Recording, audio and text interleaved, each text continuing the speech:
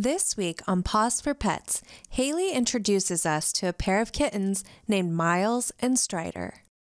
With me this week are two brothers. The one in my lap is Miles, and in this kennel is Strider. Um, they are very sweet, loving boys who need special homes because they have special diets.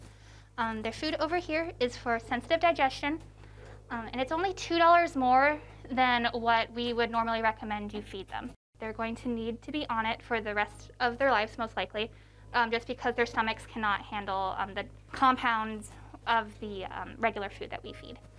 So Miles and Strider are brothers, but they cannot go home together because they are so food motivated, um, they will fight each other over food.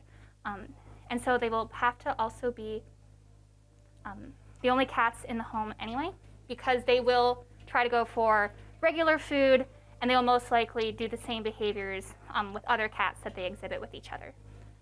Um, if you're interested in getting Miles or Strider, um, you can come on down to our shelter. We are open seven days a week from 11 to 6. We are closed daily from 1.30 to 2.30 for quiet time, so that way it gives our animals a break.